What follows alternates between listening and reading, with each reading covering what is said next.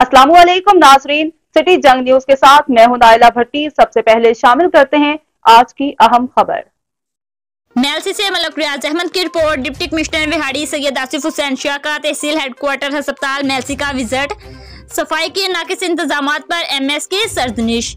Dialysis ward में मरीजों के लवाहकिन को अद्वियात ना मिलने की शिकायत इंसुलिन गरीब मरीजों को ना मिलने और सिफारशी को देने की शिकायत पर डिप्टी कमिश्नर ने एम एस को दोबारा शिकायत ना मिलने की हदायत कर दी।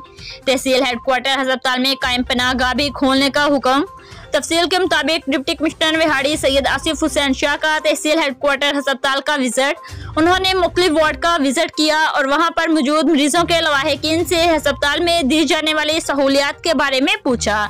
तो उन्होंने अस्पताल में अद्वियात ना मिलने और बाहर से मंगवाए जाने की शिकायत की।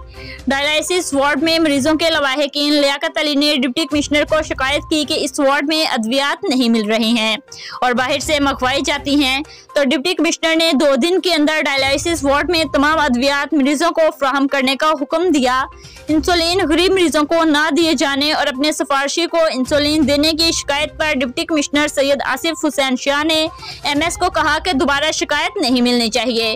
तहसील हेडक्वार्टर अस्पताल में नाकिस सफ़ाई पर डिप्टी कमिश्नर सैयद आसिफ हुसैन शाह ने M S doctor Mansoor Rehan की सर्जनिश की और कहा कि अस्पताल में गंदगी के ढेर नहीं होने चाहिए और हुकूमत पंजाब की हदायत के मुताबिक तमाम मरीजों को अद्वियात फ्राहम की जाएँ। Assistant commissioner Mailsi, M S tehsil headquarter अस्पताल Mailsi, doctor Mansoor Rehan, admin tehsil headquarter अस्पताल मोहम्मद असगर समेत दीगर भी मौजूद थे। अब तक के लिए इतना ही मजीद खबरों और अपडेट से बाखबर रहने के लिए देखते रहें सिटी जंग न्यूज़।